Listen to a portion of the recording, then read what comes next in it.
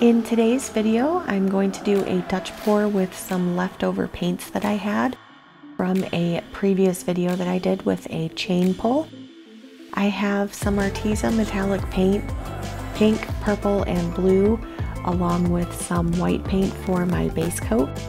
I had these paints mixed with some Sargent Art Gloss Medium, and I think I should have um, added in some Floetrol for my Dutch pours, I normally use Floetrol to help create cells, and I didn't really get too many cells in this once I was blowing the paint out. So it didn't turn out exactly how I wanted, but the colors are still really pretty, and I wanted to use them in another painting. So I'm just starting out by putting some of my white down for my base coat, and then I'm just going to puddle each of my colors and blow them out with my hair dryer.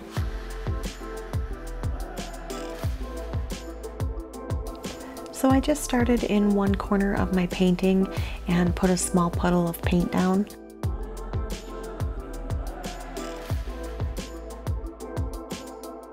I then used my hair dryer to blow it out. Since it only took up a um, about half of the canvas, I ended up flipping my canvas around and doing another pour in the other corner so that they meet in the middle. My paints got a little muddy and like I said, I didn't really get a lot of cells with this. So it didn't turn out exactly how I wanted, but these are really pretty colors together. And I think it was nice to use these up instead of letting them go to waste.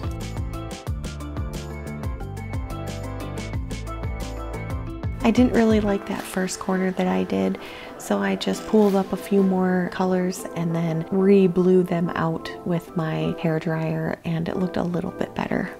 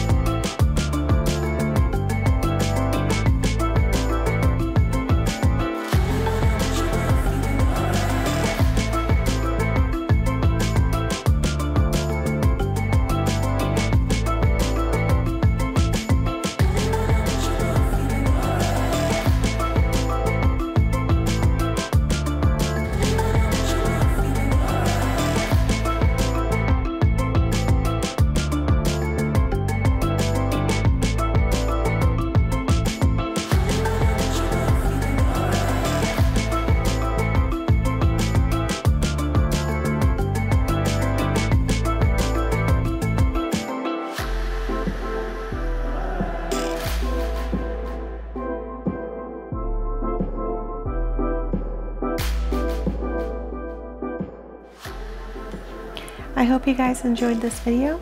Let me know what you think down in the comments below. Don't forget to subscribe to my channel and hit that bell for notifications. I put out three videos a week.